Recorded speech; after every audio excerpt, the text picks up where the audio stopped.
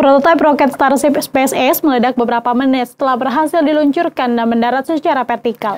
Seperti yang dimaksudkan dalam uji eksperimental ketinggian dari Boca Chica, Texas pada Rabu 3 Maret, itu adalah upaya ketiga untuk berakhir dengan terbakar.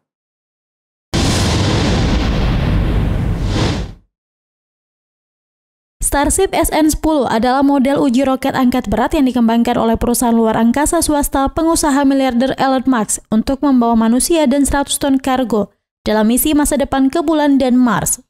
Pada awal Februari, Starship SN-9 meledak pada turunan terakhirnya seperti SN-8 sebelumnya.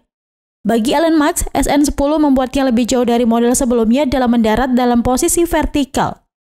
Dalam sebuah tweet menanggapi ucapan selamat dari pengagum karyanya, Video yang disediakan oleh Space di halaman YouTube perusahaan memotong sinyal setelah touchdown vertikal. Tetapi penggemar di platform media sosial yang sama menunjukkan ledakan di dasar pesawat yang mengeluarkan SN-10 ke udara sebelum dilalap api oranye. Dan kemudian sisa-sisa jatuh ke tanah. Roket Starship yang akan berdiri setinggi 394 kaki atau sekitar 120 meter saat disatukan dengan pendorong tahap pertama yang sangat berat.